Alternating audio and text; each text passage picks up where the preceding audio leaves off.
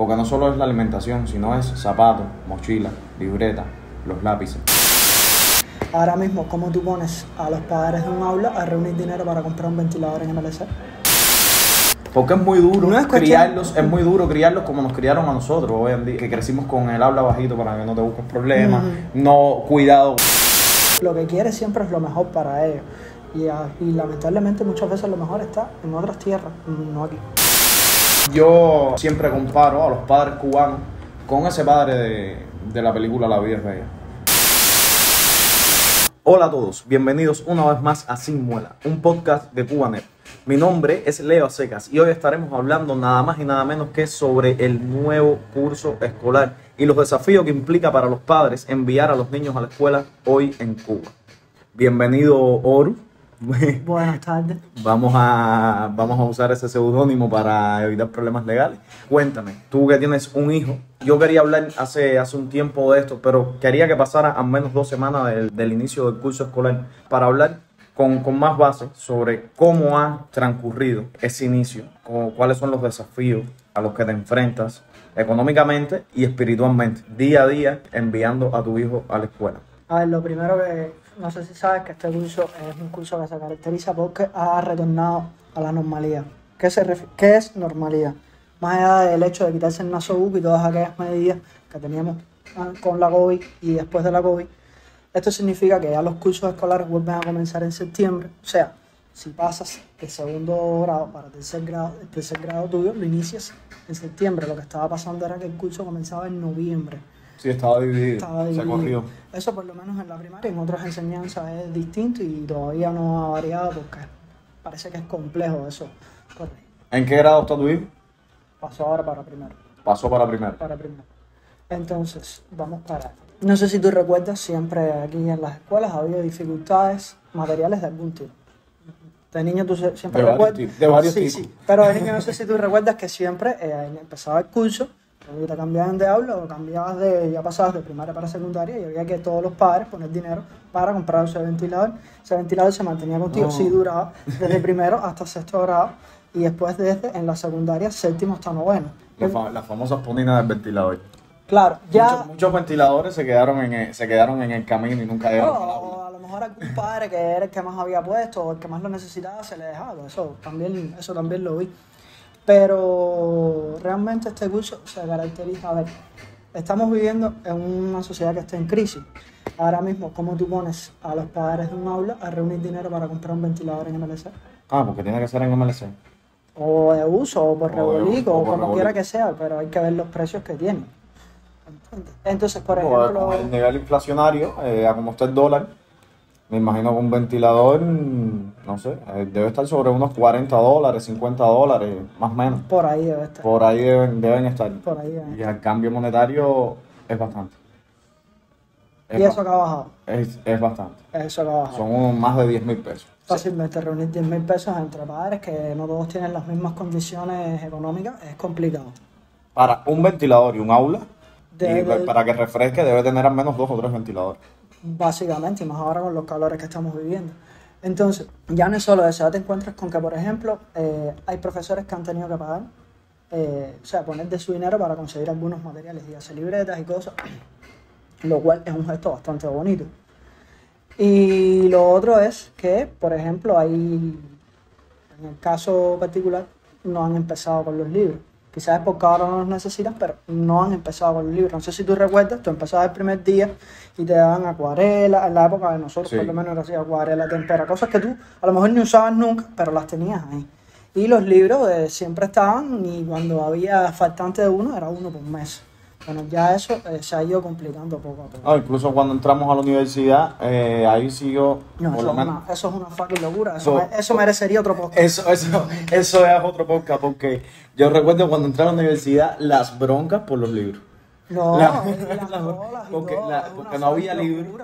Entonces había mucha división entre el curso regular diurno y, los tra- y, y el curso para trabajadores, porque priorizaban los libros Del la- curso del regular curso diurno. regular diurno y los que estábamos por curso por trabajadores Eh, no alcanzábamos a libros y no los querían dar digitales y digitales no es lo mismo. Entonces, en fin, me imagino que ahora con el tema de la primaria, los niños no se dan cuenta, pero pero les choca.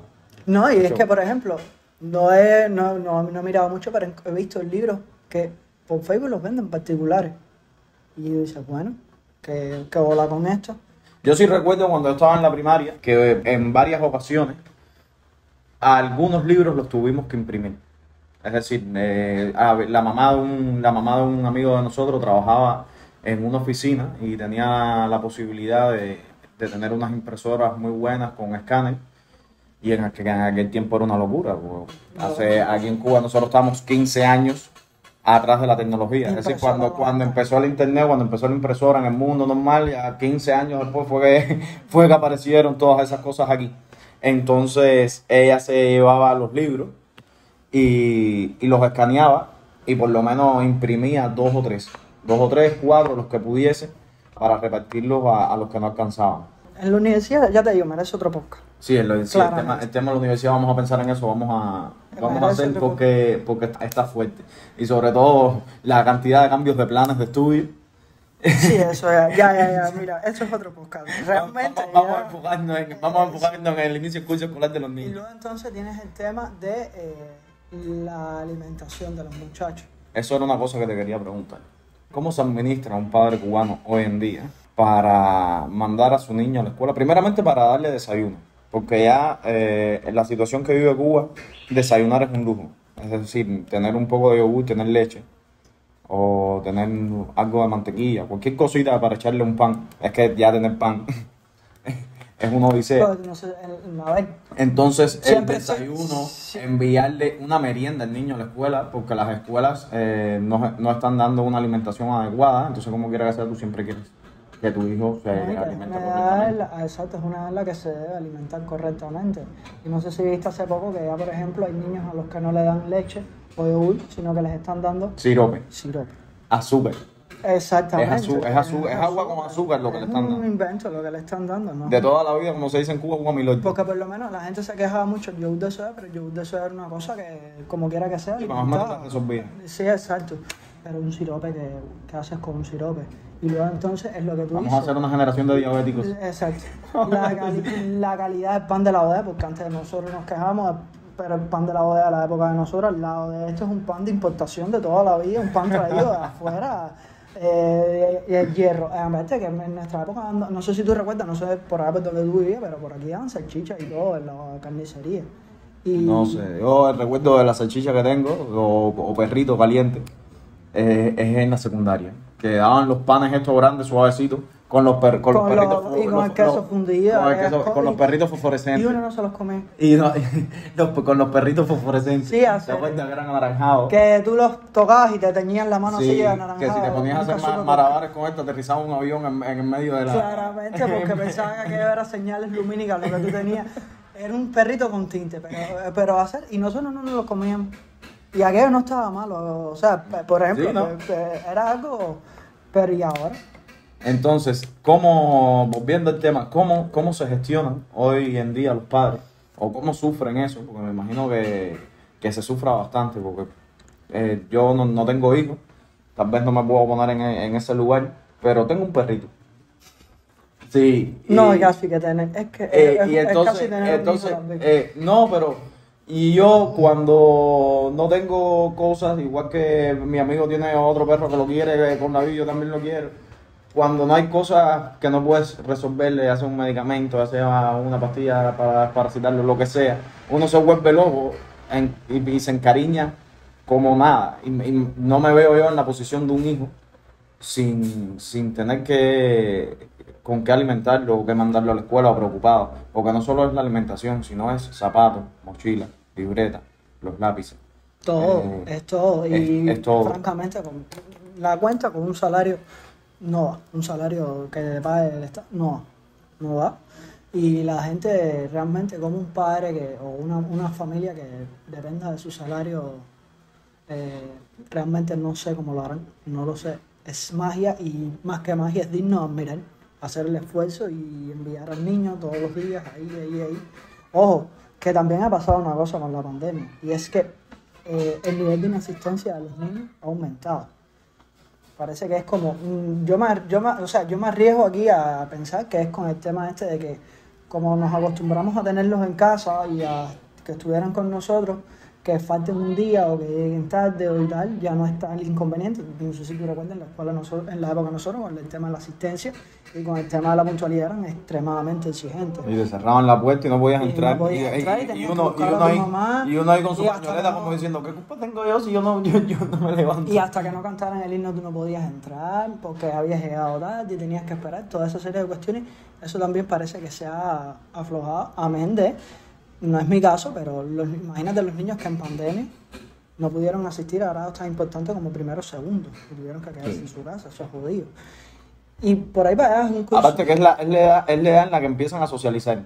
Ajá. Es decir, esos, en esos dos años, los niños, sobre todo los que no pasaron círculo, porque muchos no pasan círculo, los que vienen de círculos eh, infantiles ya vienen eh, acostumbrados a socializar con más niños, pero los que entran directo a la primaria, esa, esa etapa de preescolar. No, y no es solo, no es solo el cuando- tema de socializar, es el tema de acostumbrarse a un horario.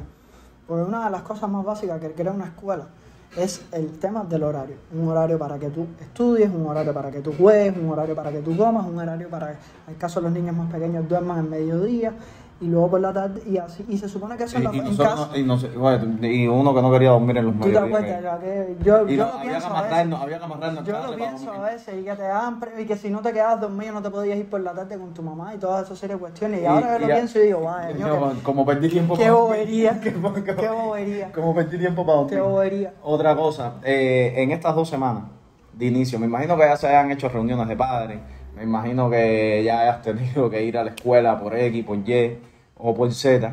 ¿Cómo han transcurrido esta semana? ¿Qué noticias les han dado? ¿Cómo han visto a los profesores preocupados con la situación actual? Háblame, háblame, háblame un poco de eso. ¿Qué se ha comentado en las escuelas? ¿Qué se comenta entre los padres? ¿Cómo están las condiciones? los padres, como siempre, están siempre dispuestos eh, a crear las mejores condiciones. O sea, que hace falta, qué es lo que hay que poner. Mira, yo imprimo lo, mismo que estábamos hablando. Yo imprimo tantos libros, tú imprimes tantos, yo voy a, tra- tra- a traer tal cosa, eh, yo traigo cosas así, ¿me entiendes?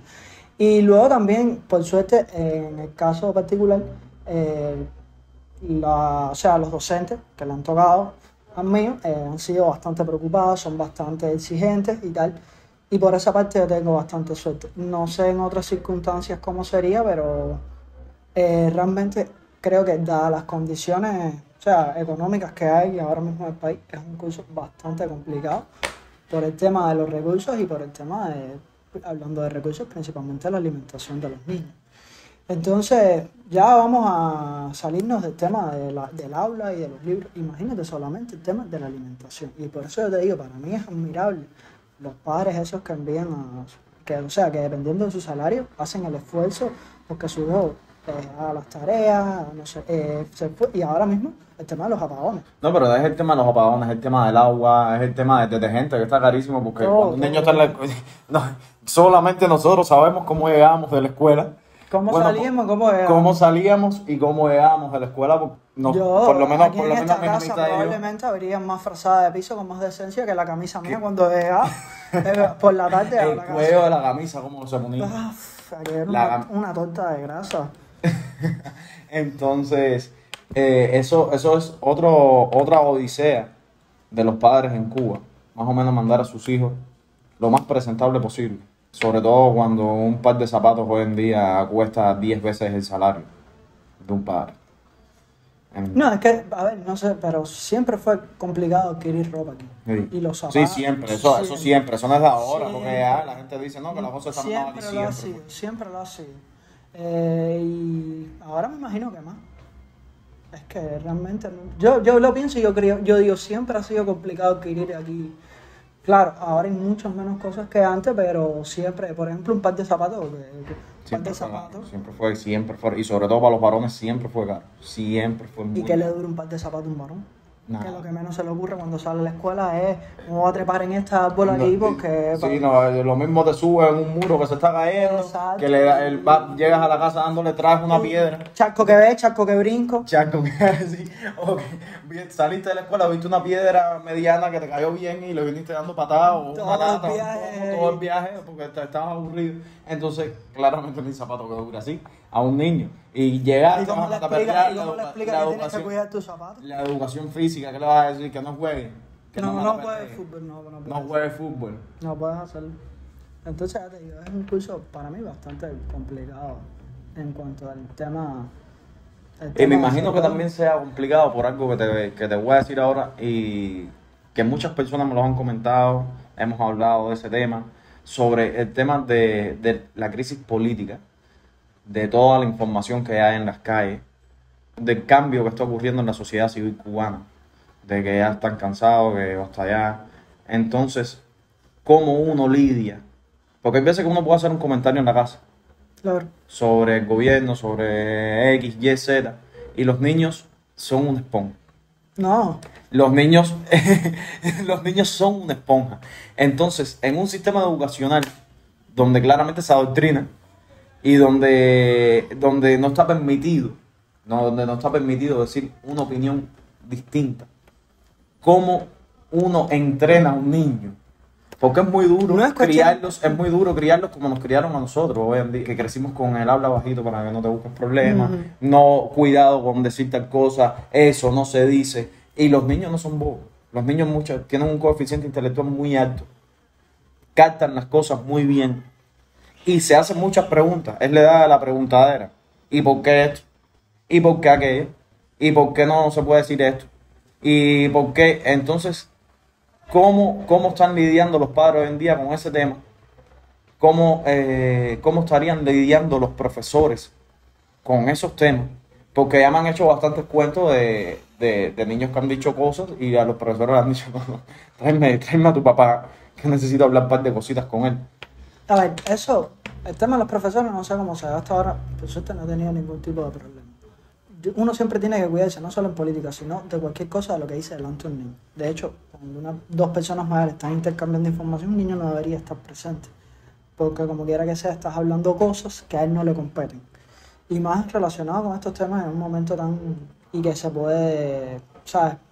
Buscarte un problema a ti y al, y al niño. Entonces, Sí, porque eso es otra cosa, aquí te, te le manchan el expediente ya de, de- desde, desde, desde, Claro. desde muchachito. claro. Y va a ser algo que va a cargar. Y es, y es triste, es triste porque se dan cuenta de las cosas. Y están en la calle, ¿qué le vas a decir? No juegues. No juegues en la calle, porque en la calle se habla, se hablan cosas. en la casa se hablan cosas. Claro. Cuando te estresas porque se te acabó la super, manda que- para casa del corazón a alguien en específico. Claro. Entonces- A ver, en mi, en mi opinión, yo creo que a los niños, como, como con cualquier otra cosa, que es un tema, tema de adulto, un tema de persona mayor, se les debe mantener. Los niños tienen que hacer cosas de niños. Eso es como, como que tú vas a un cumpleaños y tienen puesto música de reggaetón para que tú dices, no.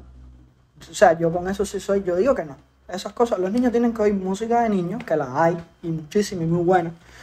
Y tienen que hacer cosas de niños y hablar cosas de niños. Mi carrito hace más ruido que el tuyo, el mío es mejor porque el mío tiene una sirena que prende la lucecita, esas cosas. Y a los niños eh, de esas cosas se les más. ¿Por qué? Porque esa es la edad de la inocencia, esa es la edad de jugar, esa es la edad donde cuando tú eches el casete para atrás y pienses, digas, coño, es verdad que estaba todo tan, tan difícil, pero mira, yo viví momentos bonitos. No, es que cuando uno es niño no se da cuenta. No se da, por lo menos nosotros. O te das cuenta, nosotros o, no lo- o lo- teníamos o sea, o lo captas, pero no lo procesas. no lo procesas, eh, ¿sabes? Tal vez veíamos que nuestros abuelos, en mi caso, eh, o tus padres en tu caso, pasaban un poco de trabajo, pero no, no notábamos, no lo notábamos. Porque de, de alguna manera ellos se las ingeniaban para tenernos entretenidos. Y creo que eso es una de, de- de las grandes cosas que han logrado los, los padres cubanos. Eso siempre me recuerda a una película, a La vida es bella. Ah, sí. La vida es bella, que en el medio de la catarsis que estaba, que Él, estaba eh, sí, él hacía cosas para que el niño no... no se enterara, O sea, él hizo que el, que el, que- el campo de concentración fuera un campo de juego. fuera un campo de juego para su hijo. Claro. A pesar de que él se estaba muriendo por dentro. Básicamente va a eso. Va a eso. Entonces, Bienvenido a la paternidad. Bienvenido a la paternidad. Yo siempre comparo a los padres cubanos con ese padre de, de la película La vida es. Porque durante décadas han estado ingeniando e inventando y buscando la manera de tener entretenido a los niños, de tenerlos ocupados, sin que se den cuenta de la tristeza emocional que les ocasiona a ellos no poderle comprar una chuchería, no poderle comprar unos dulces o un juguete, o no poderlo llevar a un parque infantil decente. Porque tú como padre me imagino que hay cosas que te, que, te duelen y que quisieras para tu hijo algo, algo mejor que lo que le puedas ofrecer y que no esté en tus manos muchas veces, porque por mucho que trabajes, no, no existe. No existe.